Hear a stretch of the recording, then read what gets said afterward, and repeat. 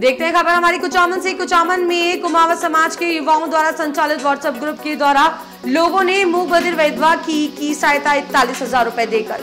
वर्तमान में social media सूचना प्रसारित करने का सबसे तेज माध्यम है, लेकिन इसका सदुपयोग कम और दुरुपयोग ज़्यादा देखने को मिल रहा है। ऐसे में नागौर ज़िले के कुचामन सिटी के कुमावत समाज के युवाओं द्वारा संचालित व्हाट्सएप ग्रुप अपना समाज दो कुचामन नावा एक मिसाल बनकर सामने आया है। ग्रुप के ज़रिए युवा समाज सेवा से जुड़े कार्यों को मिलकर अंजाम दे रहे हैं और सबके सामने एक नजीब पेश कर रहे हैं। इस ग्रुप द्वारा रक्तदान शिविर कोरोना काल में लोगों की मदद, जरूरतमंद लोगों की मदद आदि कार्य किए जा रहे हैं। इस सिलसिले में आज भी नागौर ज़िले के कुचामन उपखंड के अटकसर गाँव में एक युवक की हत्याघात से मौत हो जाने पर उसकी मुख बदिर पत्नी व दो बच्चों पर आर्थिक संकट आने की सूचना इस ग्रुप अपना समाज दो अठारह को मिली तो उन्होंने अपने ओर से इकतालीस हज़ार रूपए एकत्रित किया और उस परिवार की सहायता की।